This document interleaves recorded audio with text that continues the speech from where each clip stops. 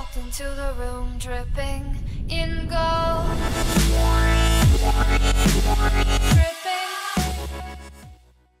Servus Leute, Alomo hier und willkommen zu einer weiteren Folge Destiny News. Wir gucken uns heute das Bungie Weekly Update vom 15. Oktober an und das handelt vor allem um Oryx und Osiris. Und ja, eine gute und eine schlechte Nachricht verstecken sich dort drin.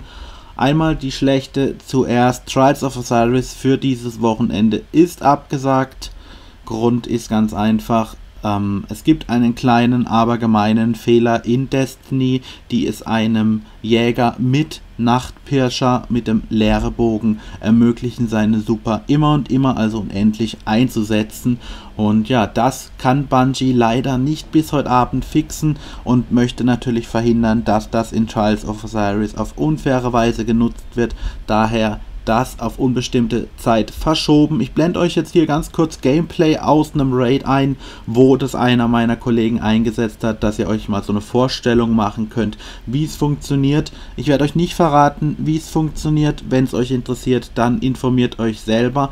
Ähm, Bungie wird das in den kommenden Tagen fixen. Tut mir einen Gefallen und setzt es nicht im PvE ein. Wirklich, ihr tut euch selbst damit keinen Gefallen, denn Bungie hat angekündigt, dass jeder, der das Ganze einsetzt, temporär gebannt werden kann, bei Wiederholungstätern sogar permanent. Also, wenn ihr euren Account nicht verlieren wollt, dann lasst die Finger weg von diesem Glitch. Wie gesagt, Bungie wird in den kommenden Tagen ohnehin patchen.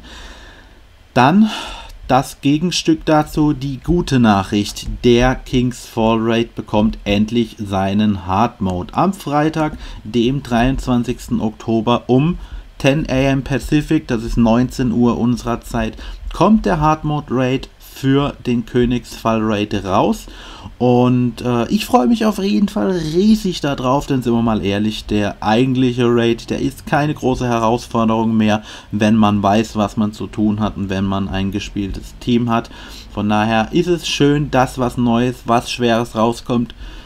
Ich kann es kaum erwarten und tatsächlich hat Bungie das Ganze auch um eine Woche vorgezogen. Normalerweise war es geplant für den 30. Oktober, aber sie schreiben hier zwar, das Raid-Team war soweit und haben entschieden, dass man es ein bisschen früher veröffentlichen kann, aber Bungie muss natürlich einen Ausgleich schaffen für das Wegfallen von Trials of Osiris und ähm, ja, da kommt natürlich eine frühere Veröffentlichung vom Hard Mode Raid gerade richtig. Also in einer Woche, nächste Woche Freitag um 19 Uhr Hard Mode Raid. Ich werde mich, denke ich, direkt an dem Tag mit Streamerhaus aufmachen und den bezwingen oder versuchen, den zu bezwingen.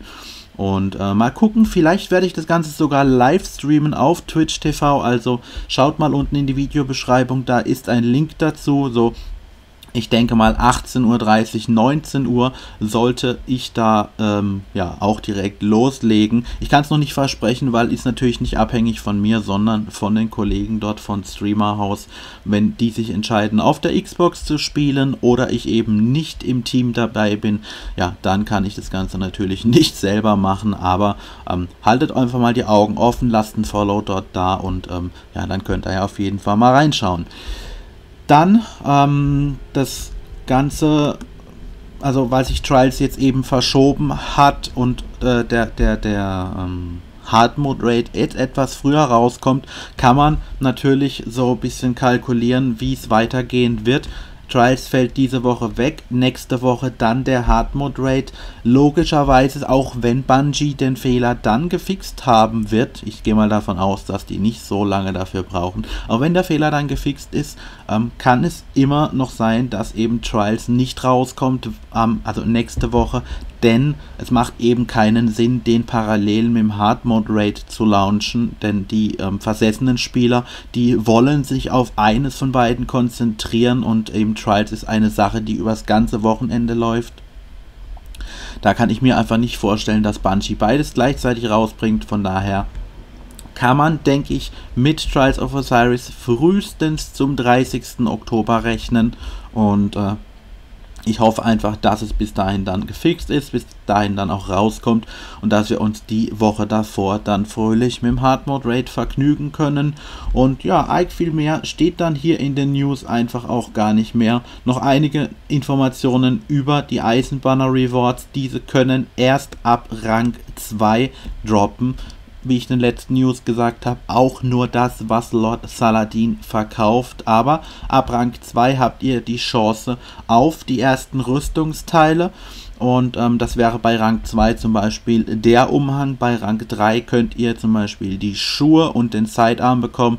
Und bei Rang 4 habt ihr dann die Chance auf das Pulsgewehr, das diese Woche verkauft wird. Es gibt Gerüchte, dass ein Fehler im Spiel ist, der das Zeug auch schon früher droppen lässt. Aber ganz ehrlich, bei all meinen Iron Banner Matches, die ich diese Woche gespielt habe, und ich habe Rang 5 mittlerweile erreicht, da ist nicht einmal irgendwas höheres gedroppt als ein Umhang und oder ein, ein Armreif für den Warlock. Beziehungsweise für mich selbst sind die Schuhe gedroppt, als ich Level 3 war. Und von daher, ich gehe einfach davon aus, dass dort kein Fehler vorliegt. Und jeder, der behauptet, er hat das Pulsgewehr in Level 1 bekommen, der ist einfach in meinen Augen ein Lügner. Und ähm, ja, das soweit zu den wichtigen Informationen zu dieser Woche zum Weekly Update von Bungie. Ich hoffe, ihr habt Spaß im Eisenbanner. Ich wünsche euch ein tolles Wochenende. Ich warte jetzt noch auf Xur, der in ein paar Minuten reinschaut. Dazu gibt es ein separates Video. Und in diesem Sinne, haut rein, euer Alum.